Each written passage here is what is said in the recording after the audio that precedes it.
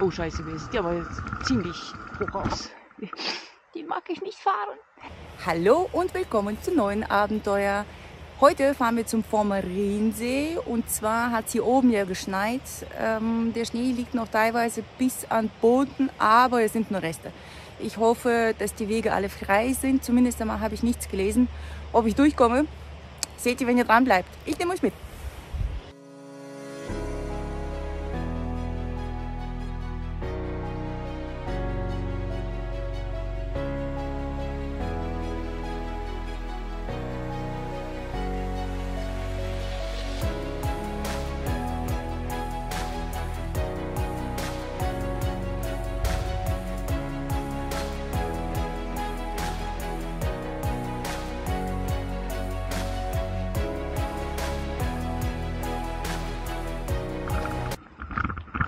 Gefühlte fünf Minuten auf der Straße schon habe ich mich verfahren, weil ich mich an die Beschilderung gehalten habe.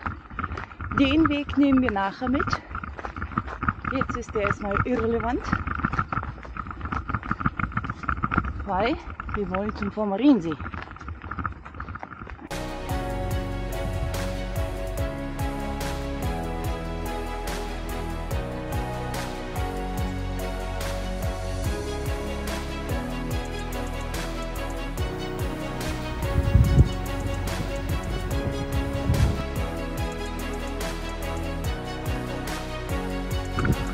Da hat man die Abfahrt, die man sich verdient hat und dann kommt so ein dicker.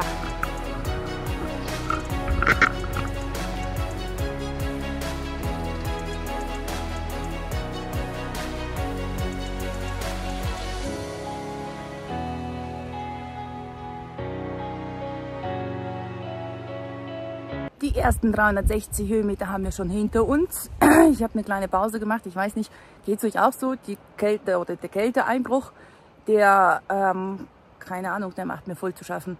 Die Oberschenkel brennen. Ich meine, die Kraft ist da, aber sobald ich sie beanspruche, ähm, fangen sie an zu brennen und dementsprechend ist jetzt der Genießermodus noch gar nicht aktiviert. Ich muss die mal gleich mal suchen.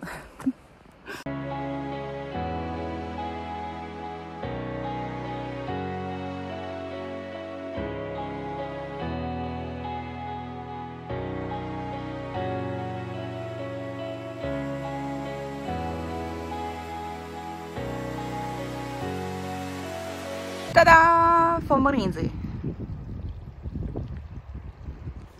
Der Plan wäre jetzt noch der Straße zu folgen,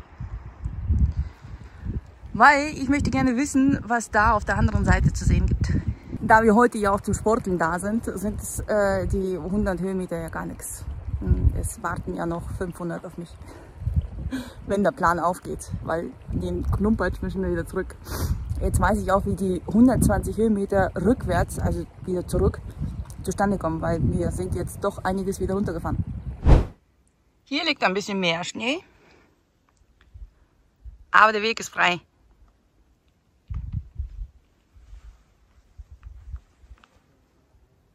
Ich bin sehr dankbar, dass es zur Freiburger Hütte raufwärts geht, weil der Rückweg wird umso leichter.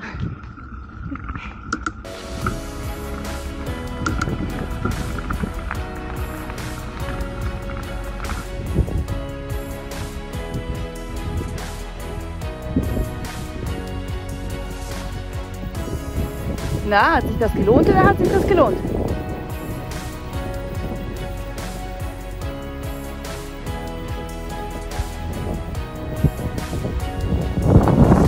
Die Freiburger Hütte liegt da drüben, von da kommen wir. Aber weswegen ich hier unten bin, schaut euch das an.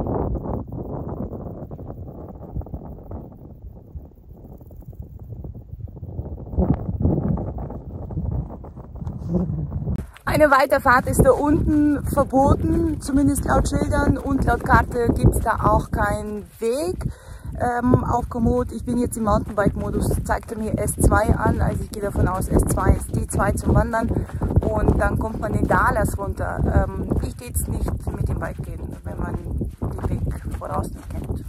Fahren wir mal zur Freiburger Hütte und dann fahren wir weiter.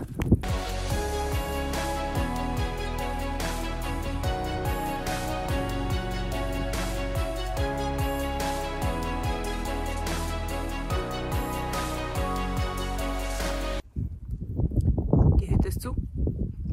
Gut, dass ich keinen Hunger habe. Doch.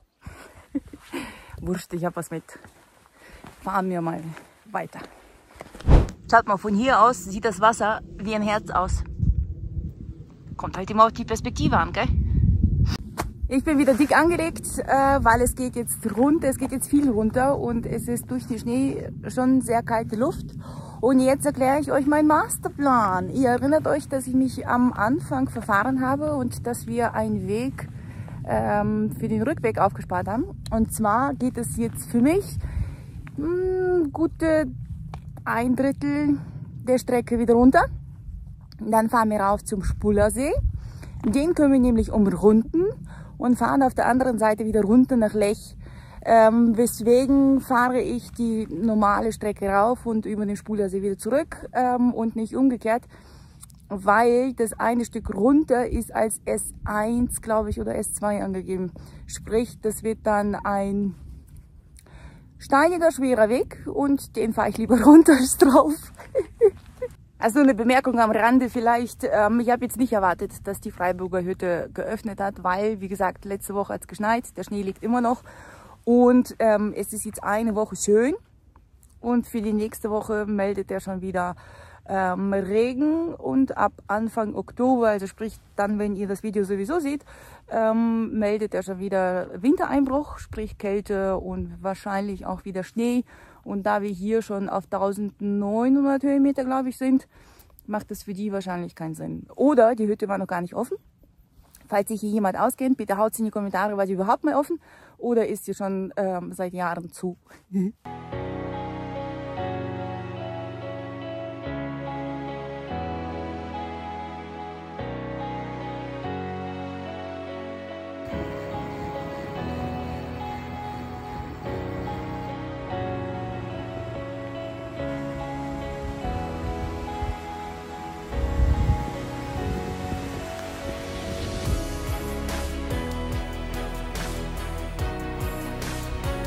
Die Zwiebelschichten sind wieder runter. Ähm, das war eine gute Abfahrt. Jetzt gibt es äh, sechs Kilometer wieder rauf bis zur Ravensburger Hütte. Ich hoffe, die hat geöffnet. Und dann sind wir auch schon am See. So easy geht das. Also heute verläuft die Zeit oder die Strecke ähm, relativ kurzweilig. Also dadurch, dass es doch sehr kurvenreich ist und rauf und runter, ist es eine sehr, sehr gute zeitvertreibende Strecke.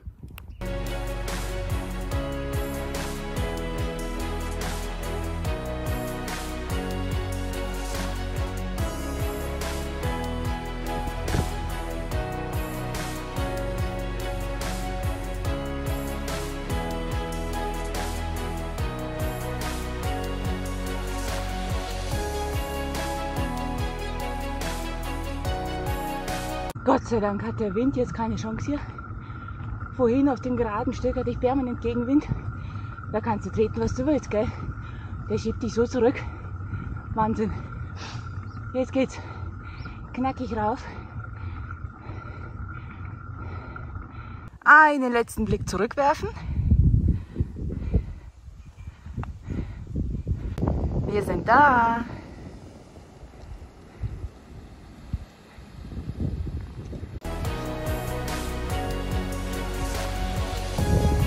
Das ist doch mal ein Panoramachen.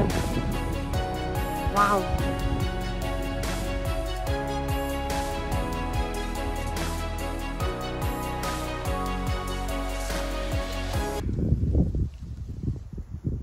Der Weg da drüben, das ist unserer. Ich gehe schon fast davon aus, dass wir da rüber müssen. Komoot hat mir die Tour als ähm, mit 1000 1050 Höhenmeter berechnet, beziehungsweise ich habe sie so zusammengestellt, dass da 1050 Höhenmeter zusammenkommen würden. Jetzt bin ich ein bisschen verwirrt. 766 habe ich jetzt auf dem Tacho und irgendwo müssen wir noch 300 Höhenmeter abholen. Ich weiß nicht, ob wir jetzt auf den letzten 8 Kilometern so viele Höhenmeter zusammenkriegen. Da muss es ja gleich richtig abgehen.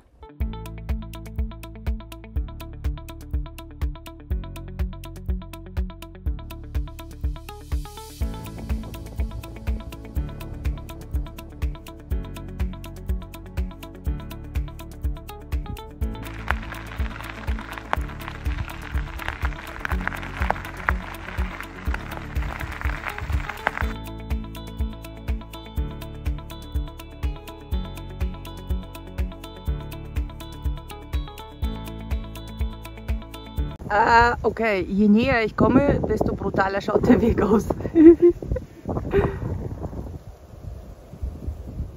da ist die Hütte. Gut, ich würde sagen, einmal tief durchatmen und äh, Beißmodus an. Gott sei Dank ist der Wind im Rücken. Noch. Noch, der kann auch drehen.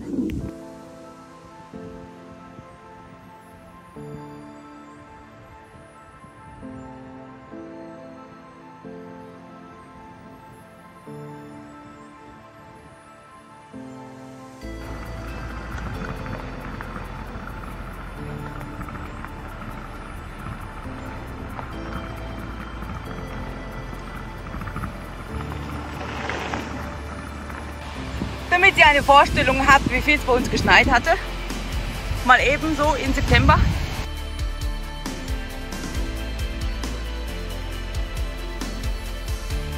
Zur Ravensburger Hütte geht es da lang. Ups, sorry.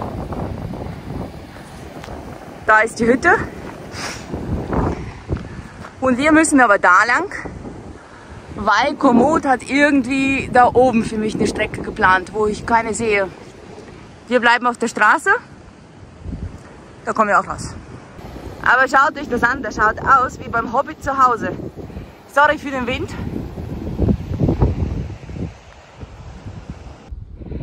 Schaut euch das an, wie schön. Das ist echt ein Platz zum Träumen. Wenn jetzt noch der Himmel blau wäre, dann wäre es ja märchenhaft kitschig. Gut, dass der Himmel nicht blau ist, sonst täte mir das niemand glauben. Ein Blick zurück lohnt sich immer. Ich habe gesehen, da gibt es einen Wasserfall.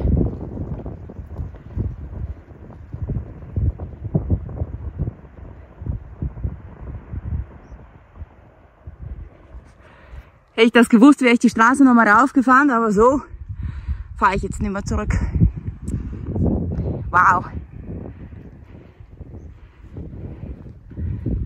Wenn mich nicht alles täuscht, sind wir jetzt hier am höchsten Punkt und da geht's wieder runter. Der Weg hier rauf, ihr seht das hinter mir, ist so eine Mischung aus Steine und äh, Wiese. Äh, bei Komoot ist der als S1 ähm, betitelt, aber der ist gut zum Fahren. Ich meine, hier und da liegen große Steine, aber man kommt durch. Also ist es jetzt keine Schieberei, keine Fleckerei. Geht gut. Das Beste kommt immer zum Schluss. War eine gute Entscheidung, zuerst zum Vormariensee zu fahren und dann zum Spullersee, weil das Panorama hier ist dann doch gigantischer. Also viel, viel schöner als am Vormariensee. Äh, oder täusche ich mich da? Ich weiß nicht, wie oft ich mich heute schon an- und ausgezogen habe. Also daraus kann man auch ein Trinkspiel machen. Jacke an, Jacke aus, Jacke an, Jacke aus. Oh scheiße. Äh, da ist Schnee. Eine nur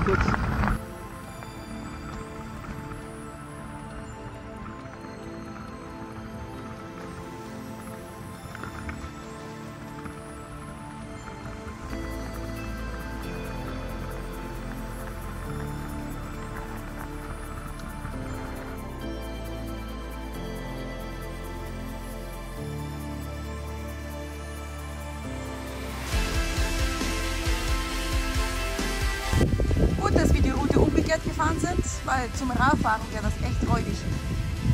Aber wunderschön. Wow.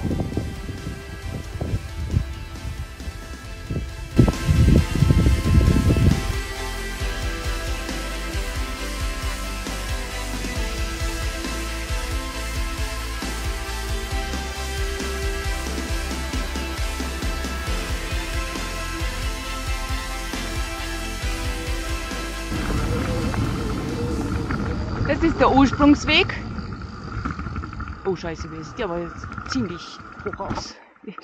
Die mag ich nicht fahren. Der ist mir zu steil. Okay, schieben wir. Äh.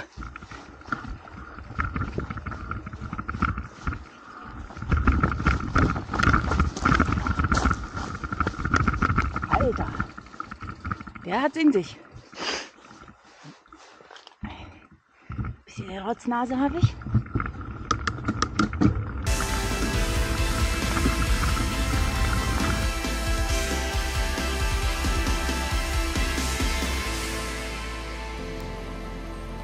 Ich bin wieder zurück in der Zivilisation, habe jetzt noch ein paar Meter bis zum Auto, aber ich habe mir gedacht, bevor der Lärm losgeht, verabschiede ich mich von euch. Das waren für mich jetzt ähm, über 40 Kilometer, ich schreibe die Kilometerzahlen genau noch rein.